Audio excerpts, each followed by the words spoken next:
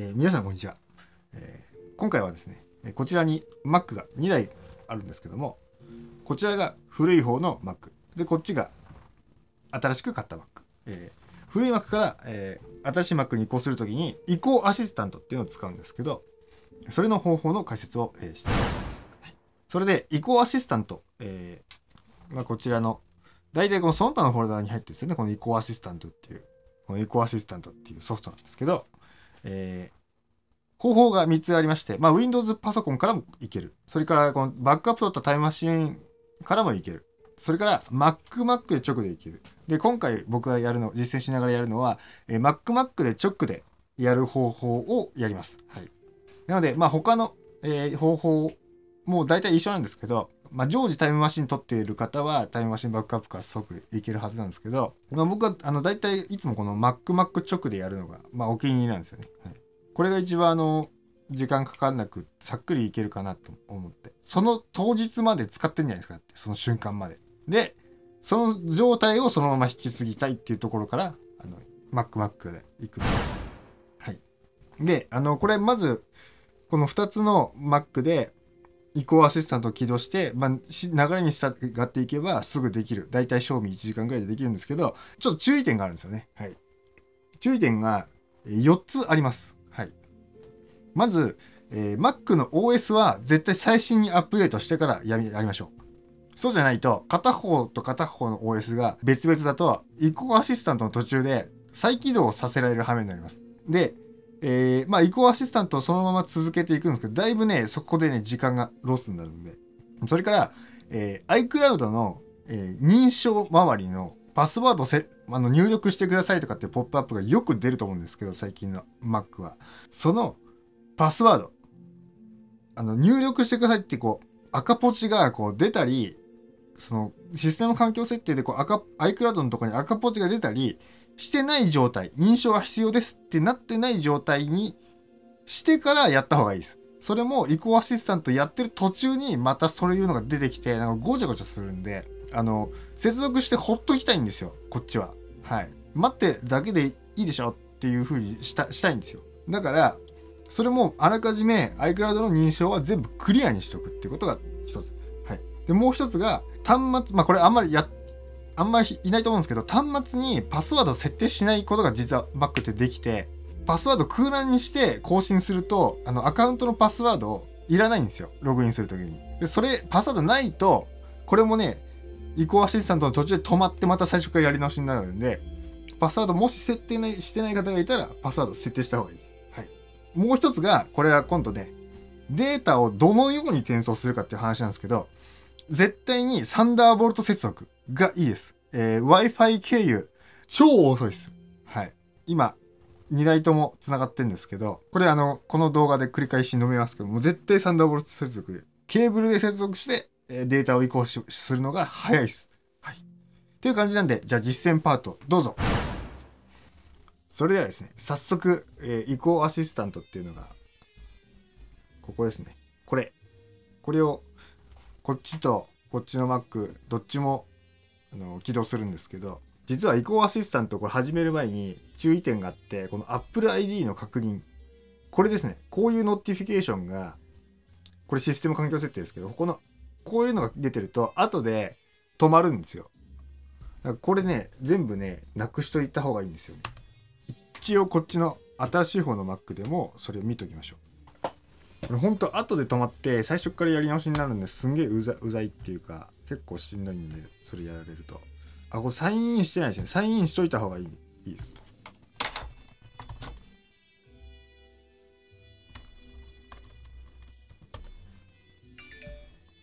そうするとこっちであのこっちで初めてサイン新しい Mac で初めてサインインしようとしたからこっちで確認してくださいっていうのが出てポロロンって言ってこの iPhone でもこう言われたんですよ今。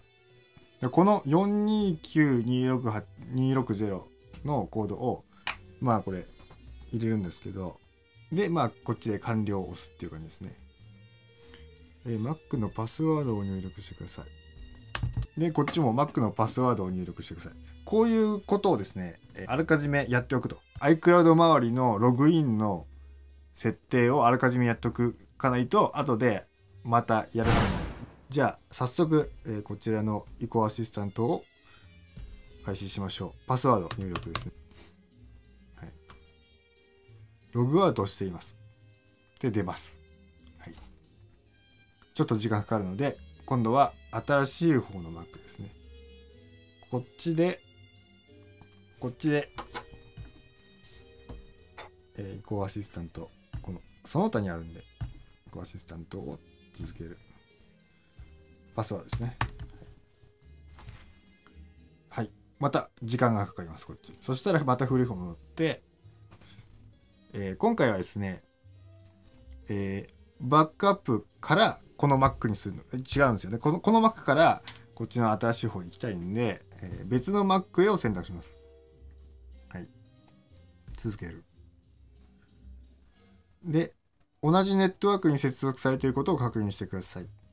でもう一台の Mac で移行アシスタントを開き確認を求められたら別の Mac から情報を転送することを選択してくださいっていう風に出るんで、えーもちろん同じネットワークに接続はしてるんですけどえータイプ C ケーブルで直接つないだ方が圧倒的に速いので、何度か移行アシスタントやった経験としましては w i f i 接続はやめた方がいいです。タイプ C タイプ C USB で直つなぎが一番いいです。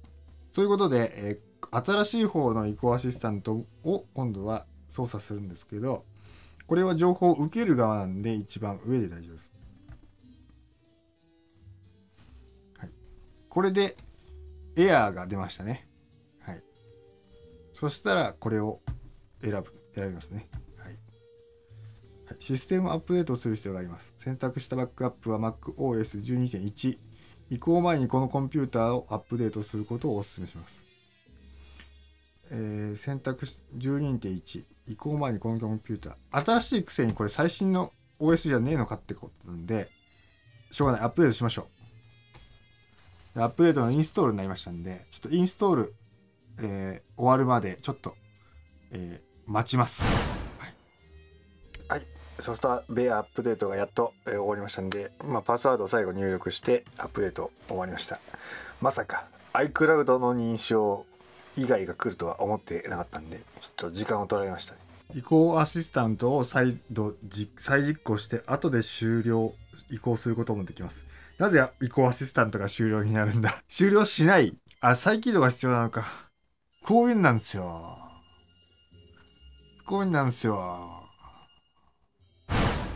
はいはいはい移行アシスタントの続きが始まりました。はい。すごい時間がかかったんでアップデートしてからやりましょう。移行アシスタント。はい。続ける。はい。ここで、えーこちらのですねコードが、えーえっとえーこちらにもアクセスを要求してまおりますってことですね。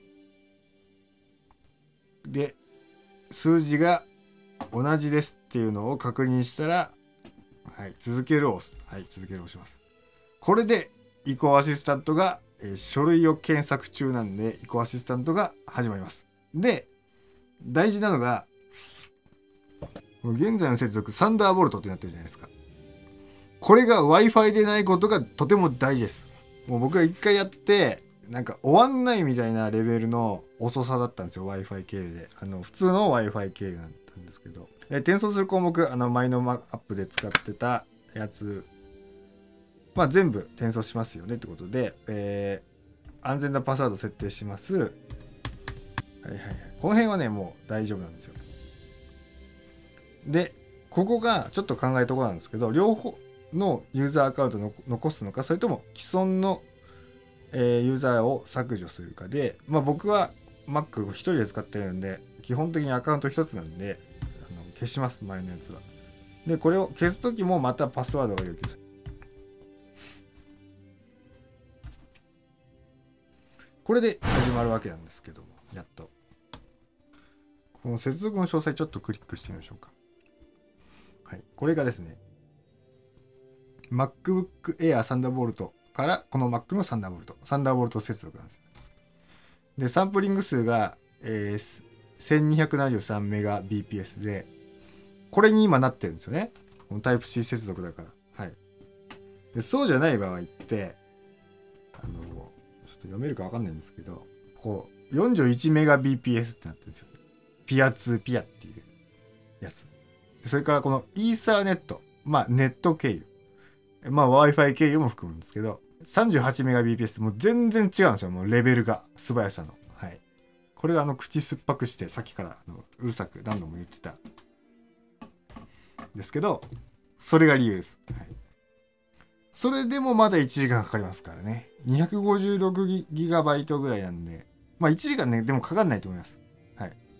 じゃあこれもうあと待つだけなんでまたカットします、えー、ぼーっとしてるうちに移行が完了しました、はい、移行が完了しましたっていうふうに、ー出ました。